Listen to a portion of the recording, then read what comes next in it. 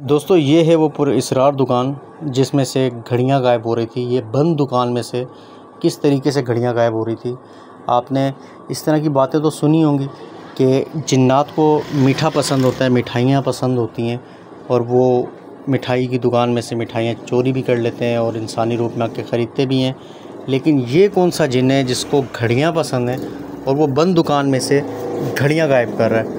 हारून shopping centre की दुकान है। जिसमें ये वाक़ रुनुमा हो रहा था और सीसीटीवी कैमरा जब यहाँ चेक किया गया तो सीसीटीवी कैमरा में ये जिन्नात साहब जो हैं वो नज़र आए, जिन, जिन्होंने बैग भी, बोरा भी पीछे लटकाया हुआ है और इस बंद दुकान में, इस जाली वाले शटर में से हाथ डाल के ये यहाँ से घड़ियाँ चुरा रहे थे।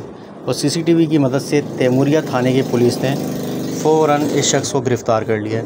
और इसने बताया कि किस तरीके से घड़ियाँ चोरी करता था और फिर चोरी की हुई घड़ियाँ आ गई है फ़रोख कर देता था। तो ये जो मम्मा था कि बंद दुकान में से घड़ियाँ किस तरह चोरी हो रही हैं, वो सी सी फुटेज की मदद से क्लियर हो गया।